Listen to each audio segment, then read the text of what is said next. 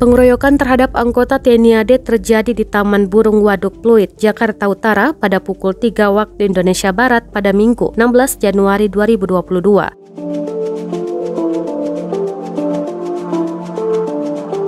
Anggota TNI AD yang tewas adalah Sahdi, 23 tahun, korban dari kesatuan Yonif Rider 303 Garut, kata Kapolres Metro Jakarta Utara Kombes Polwibowo, seperti dikutip dari Tribun Jakarta.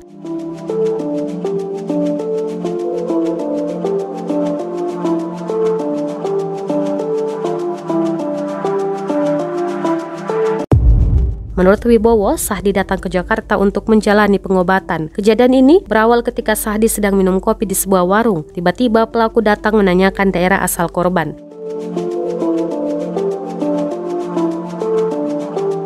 Namun Sahdi tak menjawabnya. Pelaku malah kesal hingga memukul korban. Perkelahian pun tak bisa dihindarkan.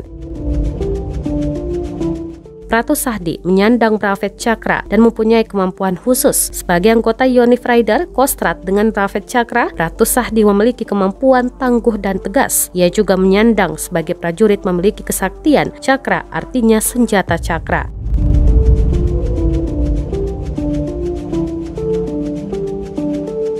Cakra diyakini sebagai senjata stuti yang secara lahiriah sebagai juru selamat yang ampuh yang dapat digunakan sebagai senjata budi.